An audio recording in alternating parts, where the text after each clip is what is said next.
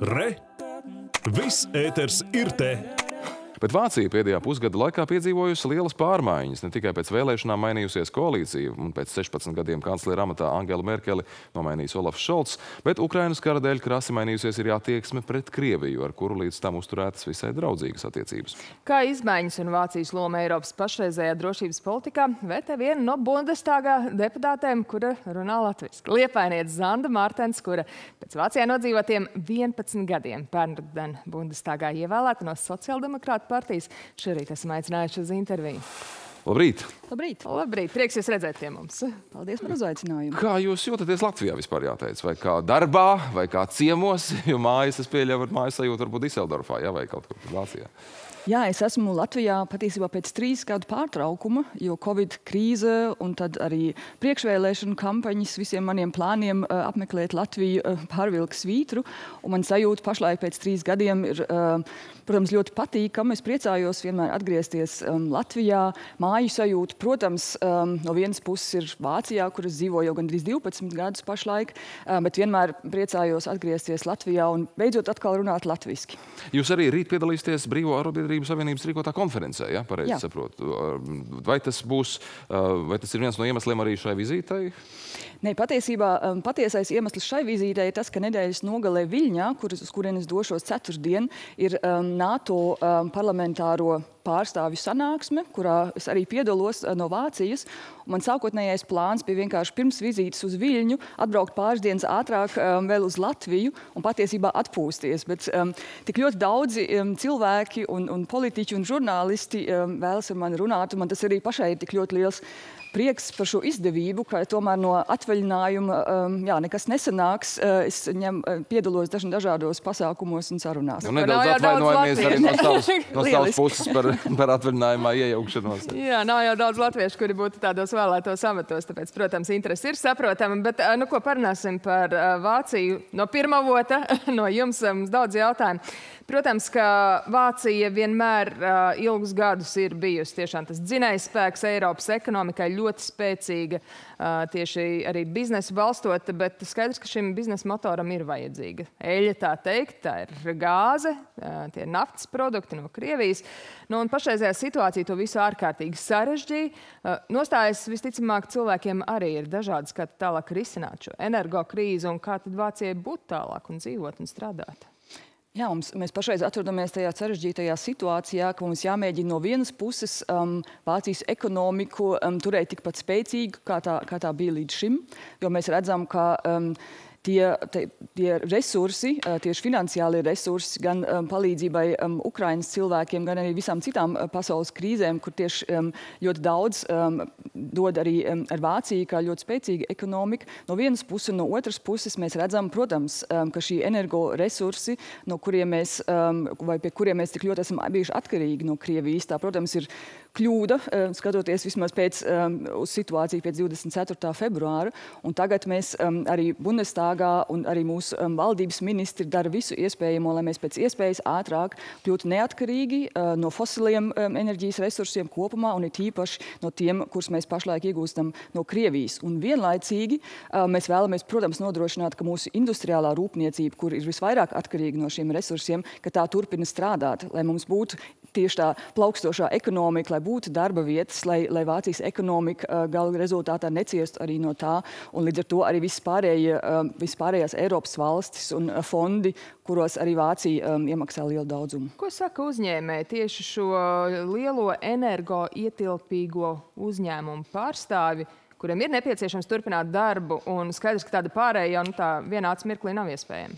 Jā, tas bija skaidrs patiesībā, um, ņemot vērā visas klimata pārmaiņas. Mums jau sen bija skaidrs, ka mūsu ceļš ved uh, uz atjaunojumiem enerģijas resursiem, ka mums pēc iespējas vairāk ir jāizmanto vēja un saules enerģija. Mēs tagad redzam, ka mēs milzīgā ātrumā būvējam sašķidrinātās naftas termināļus Vācijas pierobežas reģionos, um, lai pēc iespējas vairāk iegūtu, um, izmantot dažādus citus enerģijas um, avotus, jo mēs redzam, ka mums tieši Vācijā ir tik ļoti daudzas industrijas, kas, kam ir nepieciešams tik milzīgs enerģijas daudzums un arī šī drošība, jo tas nav kā mājās, ja uz kādu brīdi pazūd elektrība, nav nekas traks, pēc kāda brīža tā atkal atgriežas. Um, industrijas, industriālajos uzņēmumos, kur darbojas milzu iekārtas, uh, tās nevar turpināt darboties, ja ir bijis enerģijas pārtraukums. Līdz ar to uh, mēs, protams, darām uh, visu iespējamo, uh, lai no vienu, to grib arī paši uzņēmumi. Tas ir varbūt maldīgi domāt, uh, ka uzņēmumi grib turpināt strādāt tikai ar uh, naftu vai gāzi. Viņi arī paši saprot, gan skatoties uz klimatu, gan skatoties uz enerģijas neatkarību, cik tas ir svarīgi, bet, protams, ka tas ir saistīts ar milzīgām izmaksām, jo vien tērauda rūpnīcu um, pārveidot uh, no fosiliem um, enerģijas avotiem uz kādiem zaļiem enerģijas avotiem, tas ļoti, uh, tas maksā ļoti dārgi, bet arī mums kā, kā valstī, kā deputātiem ir skaidrs, ka tā ir ļoti labi investēta nauda un līdzekļi, un līdz ar to mēs esam gatavi arī visu, visu to palīdzību sniegt, kas ir nepieciešama, lai um, atbalstītu šos uzņēmumus viņu ceļā uz zaļo enerģiju. Uzskatīt, ka gan Vācijā, gan visā Eiropā tā situācija par drošības sajūtu nav tāda, kāda tā bija līdz šim, un uh, arī perspektīvā skatoties. Bet, kā jūs iezīmējāt, tas tāds noteikti alternatīva kokteilis, gan saule, gan vējš, gan sašķidrinātā gāze. Kā ar kodola enerģiju šajā situācijā? Vai tas arī kaut kā tiek vēl diskutēts, vai tas ir pilnībā jautājums slēgts un noņemts no dienas kārtības? Jo, kā mēs zinām, pēc Fukushimas uh, katastrofas Vācija nolēma atteikties no atomelektrostaciju tīkla un faktiski mm. līdz šim gadam, ja es pareizi saprotu, slēgt visu, Jā. visu šo staciju. Jā, man šķiet, um, Černobiļa acīm redzot, nebija pietiekams iemesls, bet vēlākais pēc, pēc Fukushimas um, traģēdijas um, arī Vācijas parlaments tolaik pieņēma lēmumu atteikties um, no kodola enerģijas, un pēdējais reaktors tik tiešām tiek atslēgts šī gada beigās.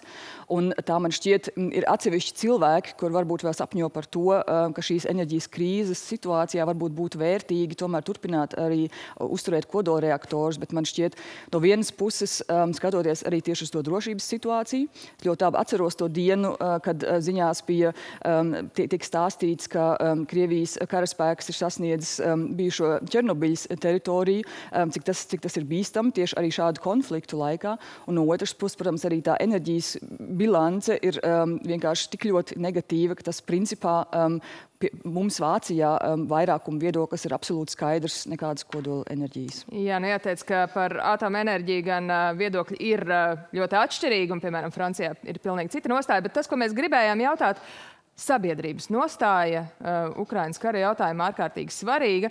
Es esmu klausījusies, piemēram, reportāžas no uh, pilsētām, no konkrēti vienas pilsētas, kas būtībā dzīvo, strādā un eksistē tikai tāpēc, ka tur ir Nord Stream gāzes vats, tikai tāpēc, ka tiek būvēts Nord Stream 2 gāzes vats un tikai tāpēc, ka tur notiek arī degvielas pārstrāde. Un šajās vietās nu, cilvēks noskaņojums ir saprotams. Ja tas viss beidzās, tad viņi saka, kur mums palikt un ko mums tālāk darīt. Kā jūs raksturotu Vācijas sabiedrības noskaņojumu?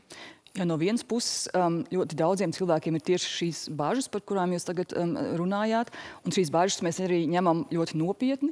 Jo, protams, ka es varu saprast jebkuru cilvēku, uh, kurš um, uztraucās par to, vai viņa darba vieta vēl, vēl tiks saglabāta, un um, vai viņš varēs uzturēt savu ģimeni un tā tālāk. Un tā joprojām. un it īpaši tie cilvēki, kurš strādā tajos uzņēmumos, kuriem varbūt skatoties no mūsu klimata um, pārmaiņu viedokļa un skatoties no mūsu enerģijas neatkarības viedokļa, kuriem nav nākotnes. Bet tas kā politiski politiķiem mums ir ļoti svarīgi dot cilvēkiem ne tikai drošības sajūtu, runājot par to, ka mēs palīdzēsim, bet pavisam konkrēti tiešām um, pieņemt lēmumus, kas ir vērsti uz to, um, lai cilvēkiem saglabātu darba vietas. Un attiecībā, piemēram, uz šo um, rūpnīcu Vācijas austrumos, kuru pagaidām pārstrādā tikai no Krievijas iegūto naftu, mēs esam pieņēmuši likumu, kurš atļaus tajā gadījumā, ja Krievijas mātes uzņēmums Rosneft neatļaus šajā rūpnīcā pārstrādāt arī citu, kur eh, no citām valstīm iegūtu vai um, ievestu naftu, um, tad Vācija ir tiesības um, šo uzņēmumu pārņemt savā, uh, savās rokās. Uh, vai, un, um, nodrošināt, ka šajā uzņēmumā varēs pārstā, pārstrādāt arī citu, citu iegūtu naftu. Tas nozīmē, darba vietas varēs palikt, pastāvēt. Par uh, Ukrainas bēgļu plūsmu mēs arī ziņā stāstījām. 6,5 miljonu bēgļu jau ārkārtīgi liels skaits. Daudzi nonākuši ir Latvijā, bet to nevar salīdzināt ar to apjomu, kas ir Polijā un kas ir uz Vāciju. Vai nu dodas vai vēlas doties? Kā ir ar bēgļu plūsmu no Ukrainas Vācijā? Cik daudz jūs esat uzņēmuši un kā ir ar mm, valsts atbalsta pasākumu pielāgošanu? Jā, oficiālā statistika saka, ka mēs esam no kara sākuma uzņēmuši vairāk kā 600 tūkstošus bēgļu. Man šķiet, ka neoficiālā statistika varētu būt vēl pat augstāka. Daži lēš, ka tas varētu būt pat vesels miljons um, Ukrainas um, iedzīvotāju, jo tā ir um, arī ļoti būtiska atšķirība šī atvieglinātā procedūra, kādā mēs Vācijā uzņemam bēgļus. Respektīvi, jebkurš Ukrainas iedzīvotājs var vispirms uzturēties um, 90 dienas Vācijā un līdz ar to visā Eiropas Savienībā um, nekur īpaši nereģistrējoties, nesaņemot nesaņemot nekādas īpašas um, vīzas. Um, un, um, tas, kā, ko mēs mēģinām pašlaik darīt, ir um, no vienas puses. Um, Man ļoti priecēja tas, ka mums ir ļoti daudz arī brīvprātīgo atbalstītāju. Es pašā marta sākumā bija dienā desmitiem tūkstoši bēgļu, kas ieradās arī Berlīnē, kur pie Berlīnas centrālās stacijas priekšā ir uzcelta milzu telts, kurā arī daudz brīvprātīgie palīdzēja šiem cilvēkiem viņus uzņemt, tulkot, palīdzēt pie dažādiem ierēdniecības pasākumiem, izpildīt formulārus varbūt un tā tālāk, kuri uzņēma šos cilvēkus pie sevis savās, savās mājvietās. Un mēs kā politika, um, protams, no vienas puses sakām, mums ir ļoti svarīgi, lai šie cilvēki, kaut arī viņi saprotami vēlas pēc iespējas ātrāk atgriezties Ukrajinā, lai mēs tūlīt pat sāktu viņus integrēt um, arī Vācijas sabiedrībā, sākot ar bērniem, kuri tūlīt pat um, iet Vācijas skolās. Um, cilvēkiem, um, kuri ir reģistrējušies Vācijā, um, Ukraiņas iedzīvotājiem, ir tūlīt pat tiesības arī sākt strādāt. Līdz ar to mēs viņiem neliekam nekādus šķēršļus um, atrast darbu un strādāt, kas man šķiet ir svarīgi, ka no pašvērtējuma viedokļa, ka cilvēkiem nav dīkstāvē jāsēž un jāgaida tikai ziņas no Ukrainas, viņiem ir iespēja strādāt un, protams, arī nopelnīt pašiem sev iztiku. Sarunas noslēgumā pavisam īsi gribām pajautāt, kā Latvija jūtas Vācijas Bundestagā? Jā, ļoti īpaši. Es esmu, man liekas, um, vienīgā latvieta līdz šim, kas tiešām ir bijis Vācijas Bundestāgā. Es to, protams, nebiju gribējusi un nebiju vēlējusies, bet tieši šajā konflikta situācijā, protams, um, mans viedoklis kā deputātei no Latvijas um, jā, ir arī vēl īpaši svarīgs. Es jūtu, ka ļoti daudz tiešām arī jautā, um, ko saka tavi, tavi radinieki, paziņas draugi Latvijā, kā viņi redz šo konfliktu. Un, uh, man liekas, ja, ir, ja tā ir mana iespēja arī transportēt Latvijas, Latvijas cilvēku viedokli Vācijas Bundestagā, tad es priecājos vēl jau vairāk. Tāda fona ekspertīze tāda iznāk faktiski arī pateicoties Jā. savai saknēm.